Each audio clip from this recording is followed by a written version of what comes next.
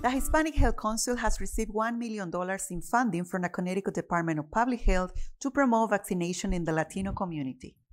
Los fondos son para despejar las dudas sobre el COVID-19 y que la información llegue a latinos que han sido afectados por barreras de lenguaje, sociales o médicas.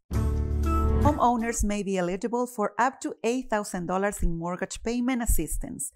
CRT puede ayudar a los propietarios de viviendas a solicitar asistencia para el pago de hipotecas durante dos meses y pagos atrasados a través del Fondo de Emergencia del ACTA CARES. Para más información, llama el número en pantalla. And the Hartford Police Department Traffic Division will conduct a checkpoint this Thursday. La policía de Hartford conducirá esta batida contra conductores borrachos desde el jueves 8 de julio, desde las 5 de la tarde hasta la 1 de la madrugada en Weathersfield Avenue.